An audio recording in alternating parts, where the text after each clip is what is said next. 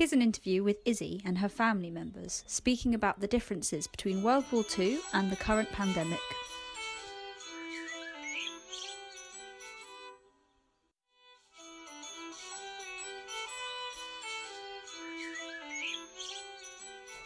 What would you say are some of the main similarities or differences between this experience during the coronavirus or what people might have experienced during the war?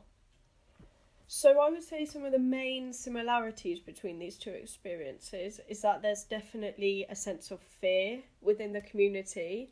The fear of contracting coronavirus may be less of a dominant fear than the war would have been in that time because although you are more exposed to it on the news, you don't necessarily feel a threat when you're in your own home. It's also a big change in the working environment of the whole country with nowadays loads of people are now working from home during this pandemic and lots of people have had to lose their jobs.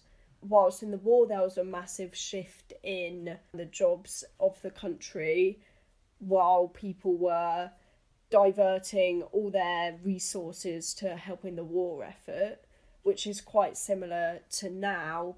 Lots of companies are diverting their resources to help make medical equipment.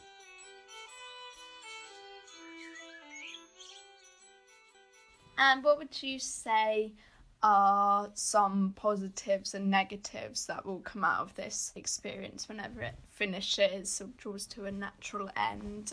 I think unfortunately there will be a lot of negatives. Obviously, there will be a lot of people who will be negatively impacted. So, there will be people who will lose family members, there will be people that um, lose their jobs, um, there will be people that will go bankrupt. So I think there will be a significant impact on society. But I think there'll be also be a lot of positives. I think the fact that um, people are restricted with what they can do will mean that they will look back and look inwardly on themselves and look for um, opportunities to do things differently, to think about life and society differently, so that they look at themselves as part of communities and look more at the way their communities work. Such as like where they live Um, or their other certain- environments? Yeah, where they live and the people who live in their communities and the businesses that run in their communities.